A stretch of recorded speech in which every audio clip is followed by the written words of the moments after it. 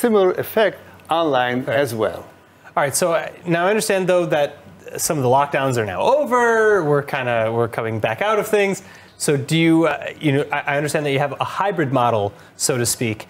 How does that compare to the in-person or versus Zoom?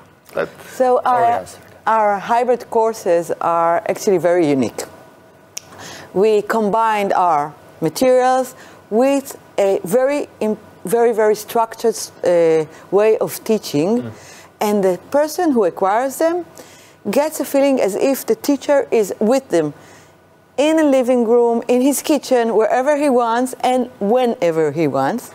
And the, the program enables people to kind of converse with the teacher and have a really, really It's a very film unique immersion, way. actually, and we actually created a platform where students communicate with their teachers, delivering record. That's that's that's a deal that I don't think anybody should or could pass up.